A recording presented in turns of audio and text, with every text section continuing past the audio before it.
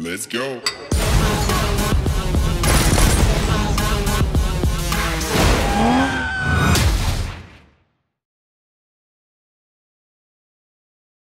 Medical marijuana is already a multi billion dollar industry. The future is this weed pill. I'm still not sure about this. Look, most people will tell you Buzz Aldrin walked on the moon.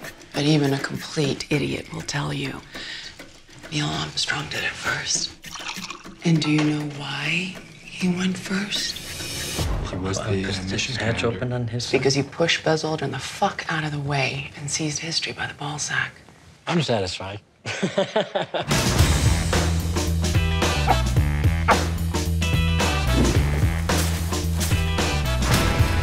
Look, man, you're in some deep water, Harold. Like bankruptcy, dude. Damn cash poor?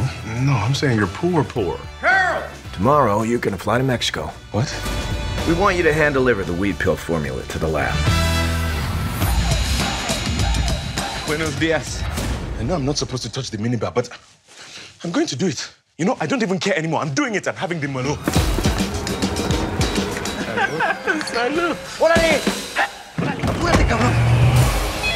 What's going on? I've been kidnapped! I am somewhere in Mexico with a gun to my head. Ah! What a fucking crybaby.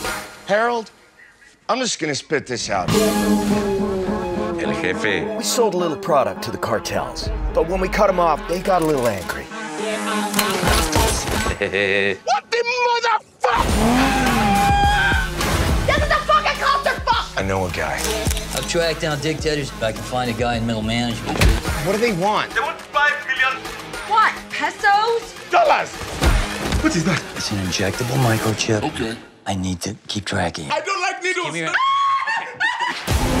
You can't scare me with tales of the big bad cartels. I don't know how things work. Not in Mexico. Harold? Ah, no, no, no, Dumare. You really believe in God? Of course I believe in God. What kind of person does not believe in God? I guess I kind of do, but not.